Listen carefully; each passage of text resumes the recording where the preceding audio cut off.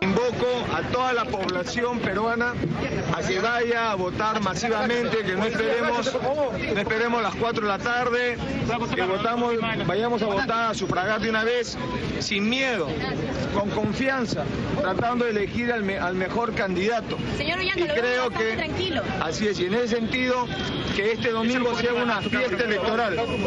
El actual mandatario de la nación, Alan García, también sufragó temprano para elegir a su sucesor en el Colegio Santísima Niña María en Lima.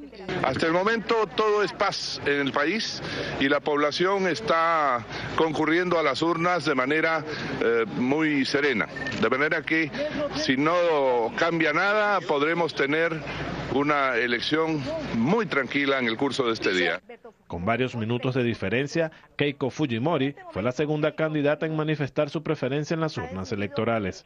Más temprano, la hija del expresidente peruano Alberto Fujimori abrió las puertas de su hogar para que la prensa reflejara el desayuno que compartía con su familia. Allí vaticinó un balotaje.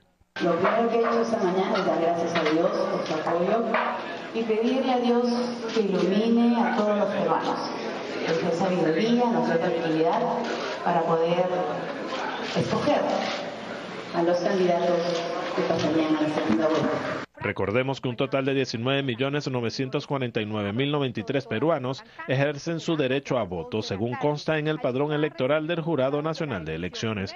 De esta cifra, el 49,8% son hombres y 50,1% son mujeres. Se espera que los centros de votación cierren a las 4 de la tarde. Paralelamente, las principales encuestadoras del país estarán dando a conocer resultados a boca de urna. El ente electoral peruano ofrecerá un primer boletín oficial luego de las 8 de la noche. Analistas han señalado que se necesitará ir a una segunda vuelta electoral pautada para el 5 de junio para conocer el próximo presidente o presidenta de la nación.